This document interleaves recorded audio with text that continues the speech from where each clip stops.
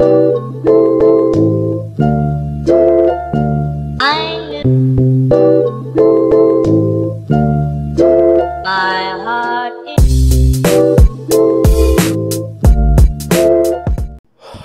gente de Mascota Exótica, estamos en un nuevo video para el canal y en esta ocasión te estaremos hablando sobre las características principales de los camaleones de velo y las diferencias entre hembra y macho. Este pedazo de video lo estoy grabando después porque no sé por qué no se grabó, pero bueno, ahora sin más que mencionarte, comencemos con este video. Eh, aquí lo que tenemos es un macho de camaleón de velo, eh, tiene mucha fuerza y es un poquito pues enojón.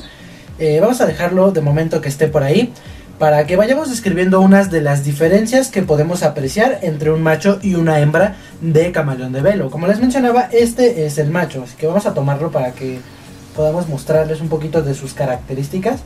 Nada más que como pueden ver es un poquito enojón, un poquito nervioso.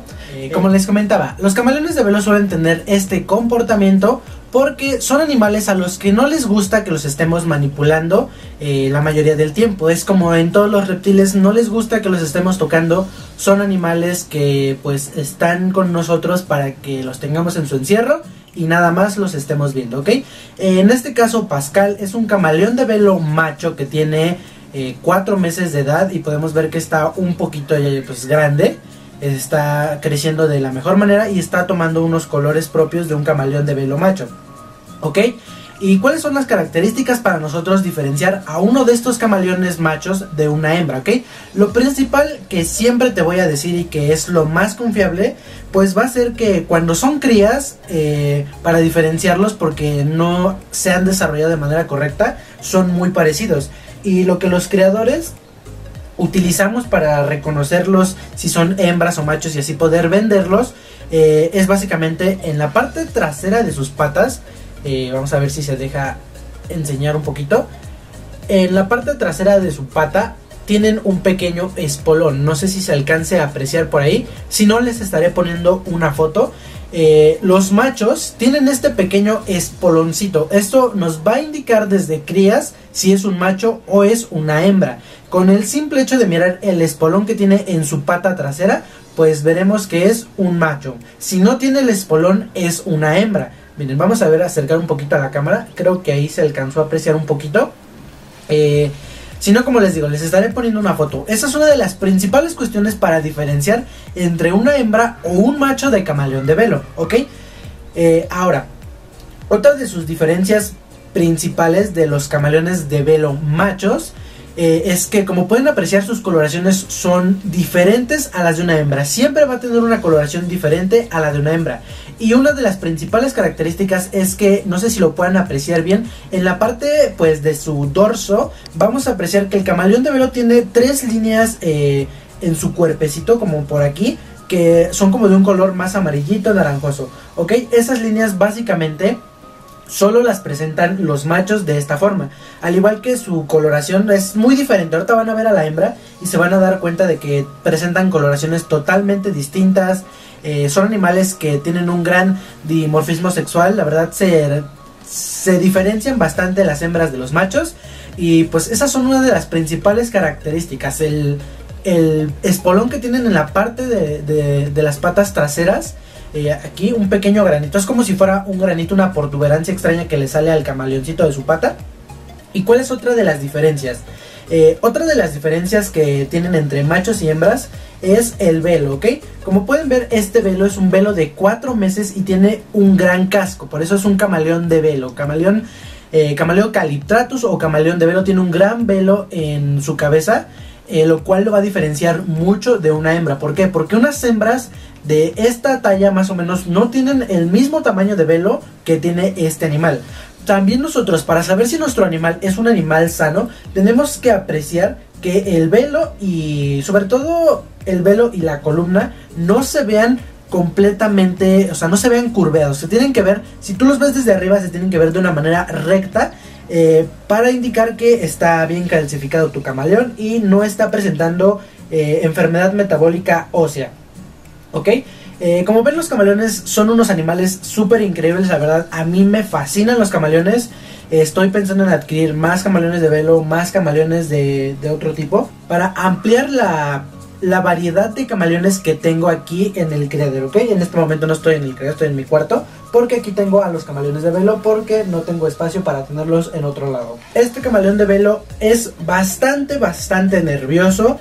Eh, así son los camaleones de velo. Si tú quieres comprarte un camaleón de velo, tienes que considerar que son animales que son muy territoriales, no les gusta el contacto físico, no les gusta que las personas los estemos tocando y mm, se llegan a estresar con bastante facilidad si tú lo estás agarrando, ¿ok? Esto es, en todos los camaleones es que van a presentar una cola totalmente prensil. ¿Esto qué quiere decir? Esto quiere decir que vamos a poder levantar a nuestro camaleón todo su peso de su cuerpo únicamente con su cola. La cola prensil es una de las maravillas de los camaleones, al igual que la forma de sus patas. Sus patas están totalmente diseñadas para que ellos se agarren de las ramas, ¿ok? Esto no es un video de cuidados, pero les estoy explicando las características de los camaleones y las diferencias entre una hembra y un macho, ¿ok? Como les mencionaba, pues son tres principales, el espolón, la coloración y su casco, su velo. Eh, y podemos denotar que este camaleón es bastante nervioso, pero eh, se acostumbra al manejo. Se encuentra muy levemente estresado, no presenta una coloración totalmente negra como suelen presentarlo algunos ejemplares. Eh, si está totalmente negro o con colores muy oscuros, quiere decir que está estresado, que está molesto por la presencia de alguno de estos animales o de alguna persona, ¿no?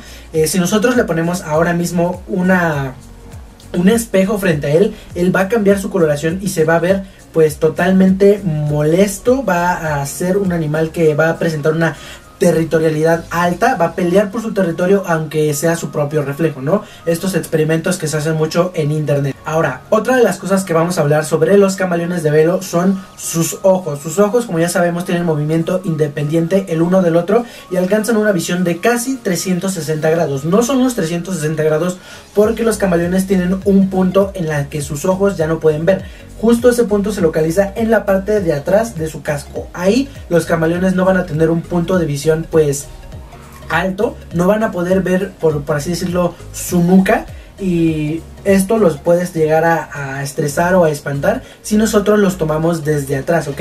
Para nosotros manipular a nuestro camaleón vamos a tratar de siempre hacerlo de una manera ya sea desde abajo. Lo que yo más les recomiendo es que si lo van a agarrar, traten de agarrarlo desde abajo. Si le meten la mano como si fuera una cucharita, porque así tu animal no se va a asustar tanto. De por sí son agresivos, no les gusta el no les gusta que los estemos manipulando, pero si nosotros los tomamos desde arriba, ellos se van a espantar muchísimo más. En este caso, pues miren, yo lo tomé desde arriba y abrió la boca porque él se está defendiendo. Eh, pues este es un camaleón de velo macho, como ya les digo, juvenil, cuatro meses, eh, come bastante bien. La verdad es que es una de mis mascotas favoritas. Y de momento no tengo un grillo aquí a la mano, así que no les puedo mostrar cómo es que comen, pero ya sabemos que sacan su lengua, la pueden proyectar hasta creo que dos veces el largo de su cuerpo para comer. Mírenlo, se ve bastante hermoso, bastante largo, unas bonitas coloraciones y este muchachón ya se está empezando a estresar. Así que vamos a mostrarles ¿Cómo se diferencia una hembra de un macho? Ya vimos las características del macho, el espolón, el casco y la coloración. Y ahora, ¿cómo es una hembra? Vamos a dejar a este pequeñín en su terrario y mostrarles cómo es una hembra de camaleón de velo. Ok chicos, es muy importante que siempre que acabemos de manipular a uno de nuestros ejemplares, sin importar si es de la misma especie, tenemos que desinfectarnos las manos. En este caso yo lo voy a hacer con un gel antibacterial que ocupamos ahorita por el coronavirus.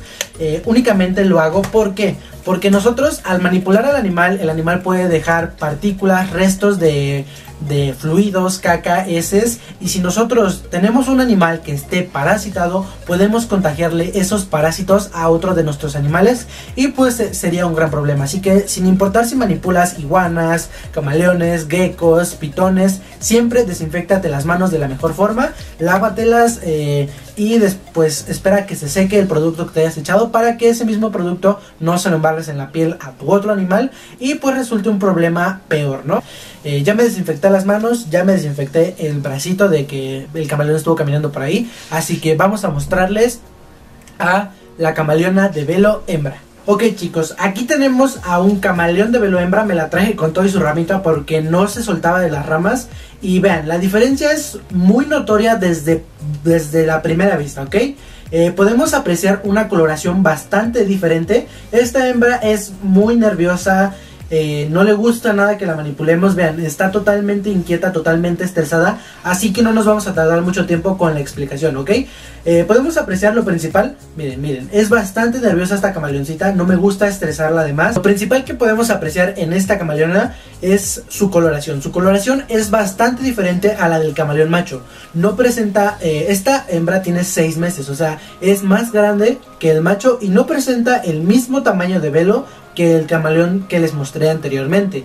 Esto es porque las hembras no lo desarrollan, así es su especie, no desarrollan el velo pues muy alto. Eh, y vean, esta es totalmente nerviosa, como les digo, así son los camaleones de velo. Eh, cuando se ponen nerviosos te sueltan una mordida y se inflan para parecer más grandes.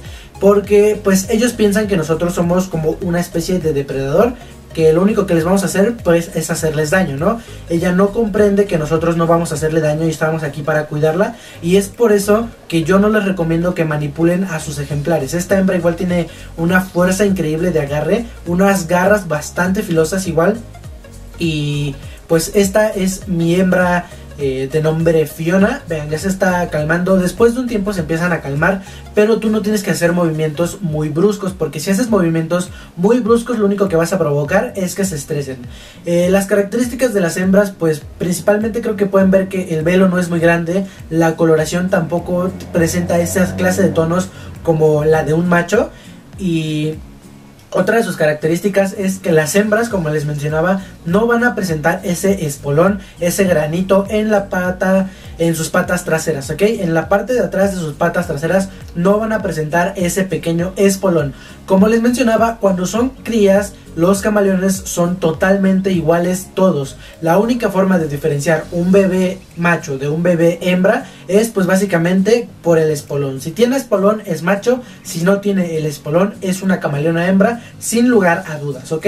Y pues vean, esta hembra la verdad también me fascina. No tiene mucho tiempo conmigo, pero está agarrando buen peso. Esta es para proyecto. Y pues ustedes déjenme saber en los comentarios qué opinan al respecto de estos camaleones. Si quieren que les haga un video más a fondo, cuidados, distribución, terrario, etcétera. Un video completo que abarque todo lo que necesitan los camaleones.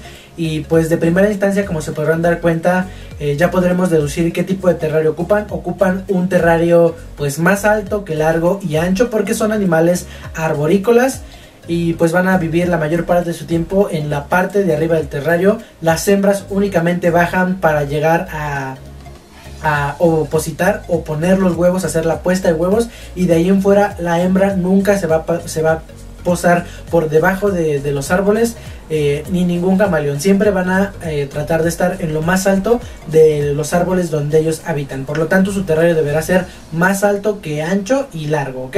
Y pues esta camaleoncita hembra muy bonita, una coloración muy increíble. Y la verdad tiene unas uñas bastante filosas que se me están enterrando ahora mismo. Y pues espero que les haya gustado este video de las características de los camaleones de velo, las diferencias entre hembra y macho. Eh, esta hembrita, como les comento, tiene 6 meses, eh, está bastante grande, está casi del mismo tamaño que Pascal, pero pues eso se debe a que obviamente los machos crecen más que las hembras. Y se preguntarán, ¿cuál es la esperanza de vida de un camaleón?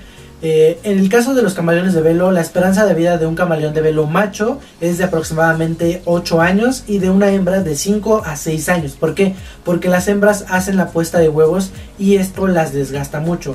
Eh, es inevitable que una hembra ponga huevos, eh, pero sí podemos llegar a controlarlo, ¿ok? yo lo, lo, que les recomiendo para que lo controlen de la mejor manera es que eviten siempre que su camaleón de velo vea a otro camaleón porque como ya ven se estresan bastante y si una hembra ve a otra hembra o ve a un macho, se va a hacer estimular para que empiecen a producir los huevos, ¿ok? Entonces, camaleones siempre solos en el terrario, nunca viendo hacia otro camaleón y pues manipulándolos lo menos posible porque se estresan bastante y eso puede llegar a ser perjudicial para el animal, ¿ok? Y pues nada gente, espero que les haya gustado este video. Ya saben que si fue así pueden regalarme un grandioso like, suscribirse si es primera vez que ves alguno de mis videos y compartirlo para que mucha más gente conozca las diferencias entre el camaleón de velo hembra y el camaleón de velo macho, ¿ok? Eh, ya saben que si tienen alguna otra duda pueden dejármela en los comentarios y ahí nosotros se las responderemos. Y pues me despido, soy Uriel de Mascotas Exóticas, hasta luego. Vamos chiquitina, vuelve a tu terrario.